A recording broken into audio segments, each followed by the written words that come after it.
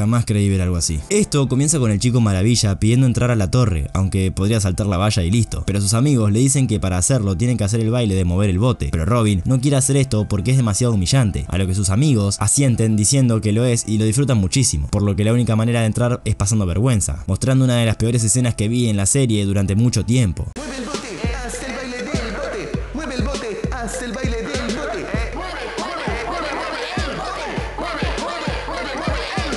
Realmente me causó desagrado. No contentos con esto, los titanes empiezan a demostrar su maltrato hacia Robin. Tonto, si quieres que abramos esa puerta, entonces empieza a sacudir el trasero. ¡Dije!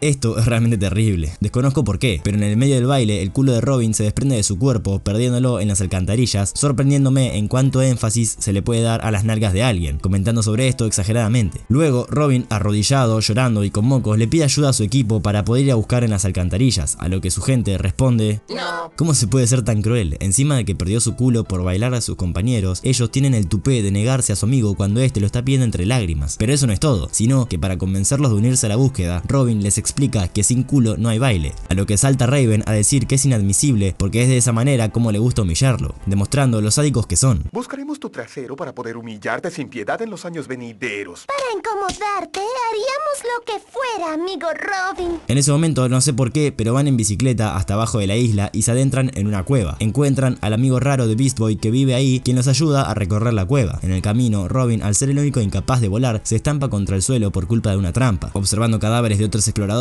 como Indiana Jones y su padre, Dora la exploradora con el mono Botas y también Wally de dónde está Wally, cuerpo al cual Raven le roba dinero. Única parte que me pareció bien por las referencias. Siguiendo su camino, son atacados por murciélagos, generando una breve aparición de Batman. Luego de pasar por eso, el raro pisa una trampa que lo empuja a los picos del fondo de la cueva. Cyrax. Fatality. No, en realidad dice que está bien ahí, y Chico Bestia le da un nabo que aparentemente le fascinan al sujeto. El equipo decide volver para no arriesgar el cruzarse con otras trampas, pero Robin da un discurso que... bueno, La próxima vez que vean el cielo, será encima de otro trasero. Cuando suban a la montaña, será por otro trasero. Donde quiera que sea, será por otros traseros. Pero justo ahora, son nuestros botes. Son nuestras nachas las que están en juego. Esto inspira a los Titans que piensan que si la trampa les pega en el culo, irán con la suficiente fuerza para atravesar hacia el otro lado, aunque hace dos segundos habían demostrado que todos menos Robin podían volar y seguramente llegarían hasta el otro lado sin drama y alguno pudiendo cargar a su amigo, pero no sé qué hago buscándole la lógica a esto. Cuestión que Robin dice que no tiene trasero para que le peguen y llegar hasta el otro lado, pero Bestia le da unos nabos que le sobraron por ahí para que lo metan sus pantalones, lo que sorprendentemente funciona. Llegando a una parte de la cueva donde aparentemente los piratas guardaban su botín, pero por más oro que haya, al resto no le importa, sino que solo quieren encontrar las sentaderas de su compis, escuchando un pedo que retumba por la cueva y esperanza a la muchachada de que seguramente lo que buscan está por ahí. Encontrando un botín con tapa en forma de culito, el cual destapan para encontrar muchas posaderas entre las que encuentran la del chico maravilla.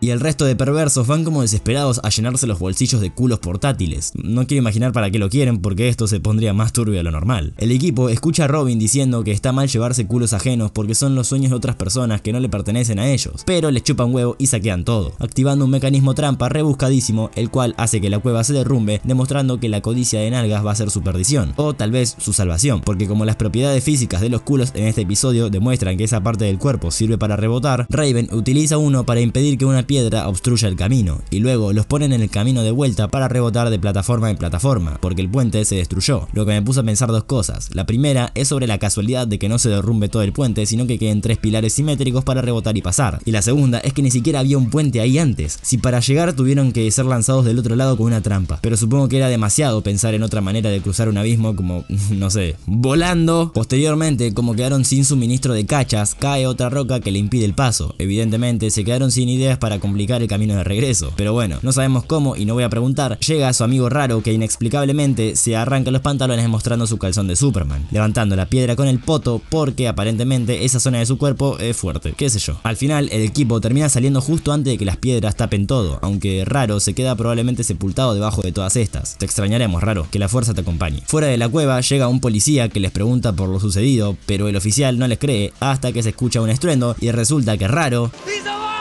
saliendo en un bote formado por nachas. ¿Qué tenía que ver el poli en esto? Creo que nada que ver, pero bueno, apareció y punto. Finalmente, el equipo de superhéroes le dice a Robin que no hicieron este viaje solo para que tenga su culini, sino que ahora toca bailar. Así que terminan con ese baile deplorable al que se le suma el policía y el raro, enfocando pompis a lo loco, mientras el resto del team se ríen de la situación.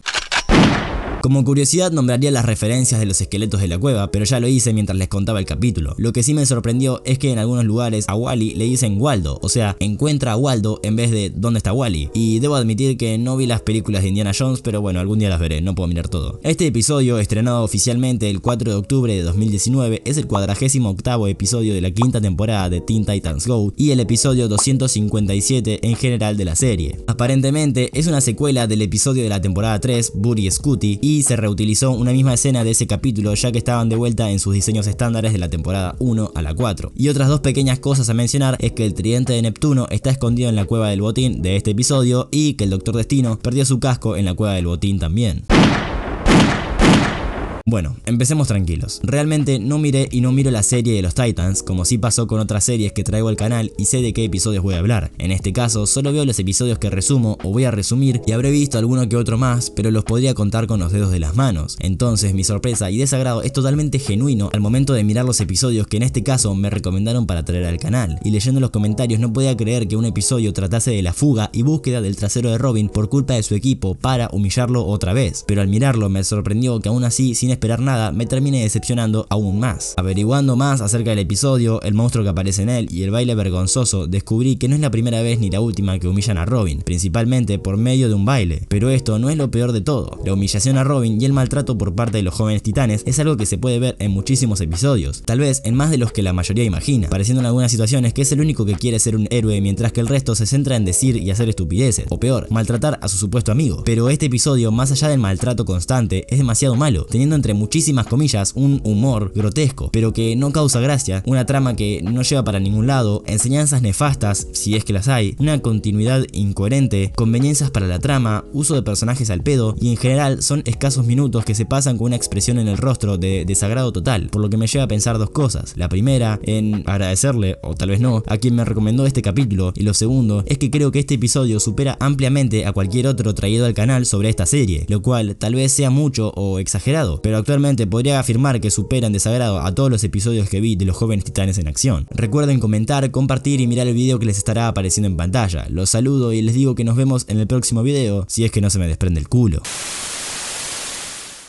It's alive!